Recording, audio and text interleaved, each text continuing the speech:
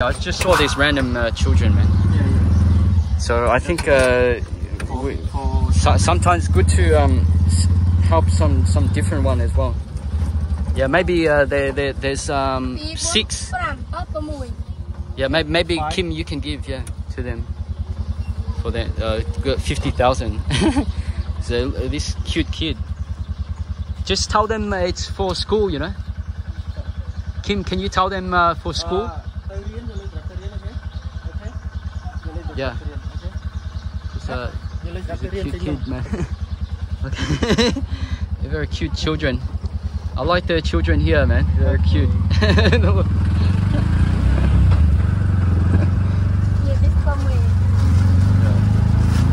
yeah, I, I like... Uh... So yeah, when we were in Cambodia, I started thinking we should try to look outside the circle, you know, look outside outside the social circle of the Danat and her family and all the people around that specific social network because I had in the trips out to the bamboo train coming back and forth, I had seen other kids that um, we never saw during the giveaways um, because I guess they weren't, you know, in that same that same group of friends or acquaintances. So um, thanks to the anonymous Christian who's still been sending me donations, and I'm slowly working our way through. But um, I did, you know, try to do some random giveaways just to kind of feel out the vibe, you know, like see what the situation is. Like uh, we gave to those random kind of um, street kids, and um, they were pretty feral, pretty savage, um, but still, it was pretty cool to give them some food together with the money uh, because they were just eating absolute rubbish, you know, the noodles. And um, yeah, they're still quite civilized by, you know, everyday standards, even though they, they looked very um, savage. Um, they didn't harass us or anything, you know, once we gave them the money, they were happy with that and they didn't ask for more, which is a common thing in um, Vietnam, the upsell uh, for the hardcore city dwellers.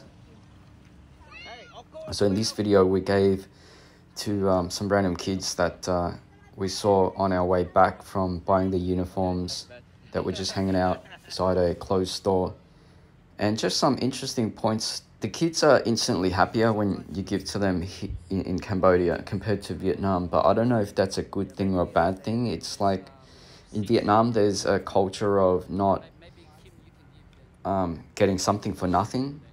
So even though all the people that we have given money to in the past, they have appreciated it, it's there's still something that doesn't really sit well in the Vietnamese psyche with getting handouts. And as the Iranian said, I mean, that's probably why people don't want to return after they've gotten back somewhat to their feet. You know, like people don't want to be shown to the world as getting handouts, man. That's not a um, position of respect for the viewer. You know, you, you don't look at someone that's getting a handout and think, wow, I really want to be like that guy. So Vietnamese people are very cognizant of that, whereas Cambodians are much less reticent about how they're perceived regards to the adults. You know, they're willing to be committed to video, just grabbing pieces of duck and stuff. And um, I don't think Vietnamese people, even if adults, even if they were quite hungry and quite uh, poor, they would be quite reluctant to, to have a guy standing filming them getting pieces of chicken or duck.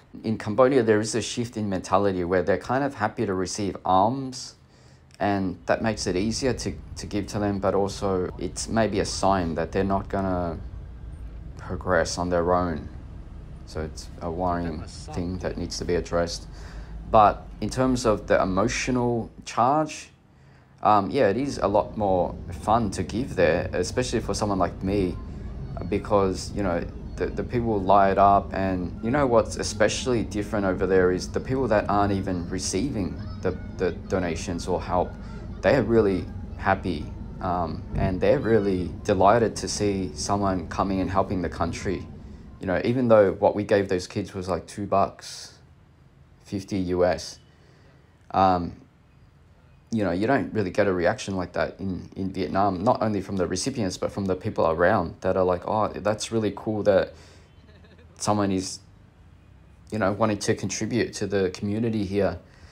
And I've had lots of um, encouragement from people that aren't even receiving any help. You know, like I said, some of the tuk tuk drivers that recognize me, they're like, thank you for coming and helping our, our country and, you know, being involved. We really appreciate it. And they've received nothing from me. So it really warms the heart to have that kind of gratitude and sentiment from the locals there. Just another thing I wanted to address was in the video where I spoke about, you know, Vietnamese looking down on Cambodians because some comment was saying that his girlfriend admitted to looking down on Cambodians, which um, thanks for the honesty. And someone tried to gaslight him, saying, "Oh, it just means that your girlfriend's a R word uh, because I'm Vietnamese and I never look down on other Southeast Asians. I think of them all as equal and brothers, the same as me, and I'm Vietnamese, and it is actually the norm you know, the guy's girl, props to her for actually being honest about it and not lying. I would say not to believe Vietnamese when they tell you, you know, how they view others and it's all equal and they never look down on others. Just look at their comments when they're speaking with each other. Don't judge people by the public face that they they put on because obviously it's not au fait in Western society to declare that you look down on a, an entire nation. So no one's going to do that in public. But in Vietnamese discourse, nearly every comment under that video that was about um, Cambodians being prejudiced to Vietnamese was just slagging off Cambodians. Every comment from Vietnamese, to a man nearly, was just saying how bad the Cambodians are. And the few Cambodians that entered the chat were apologizing on behalf of their countrymen, saying, I apologize on behalf of this guy. Don't want Vietnamese to get the wrong idea. And we're sorry that this guy spoke that way. And um, we appreciate you guys. Pertinent thing is the uploader didn't give a heart to any of those Cambodian comments that try to be a bridge and mend things, but he gave a heart to scathing attacks on Cambodians. Like one guy was saying, I'm an engineer. I've been to all these countries like Laos, Indonesia, Japan. Everyone I've been able to get on with, with the exception of one party, the Cambodians. Everyone dislikes them. They boycott them. No one likes to be near them at lunchtime. You know why? Because they're like this. They're lazy, uneducated, uncivilized. I mean, it's just rubbish, but it got thousand upvotes and a heart from the uploader. So you can tell his sentiment is to brew ill will between the two countries. And most of the top comments were saying stuff like, oh, I fought in the Khmer Vietnam border skirmish and it sucks that these people don't appreciate it. Like Vietnamese will always say that, like, oh, we stopped Mr. Pol Pot and his regime when they stepped over into Vietnam. And it, it's not because they were trying to save Cambodia or whatever, or have any feeling for the Cambodians' situation. It's just because the Khmer Rouge overstepped, you know, and they um, invaded Vietnam and they, they got pushed back. And that's, that's the reason Vietnam got involved. It was just a happy accident that they helped out, you know, the civilians. But they always use that as a talking point. But doesn't make sense when you see their attitudes their current attitudes to Cambodia. It's not because the Cambodians are ungrateful or whatever. It's just they just look down on them primarily because they're poor and uh, our darker hue.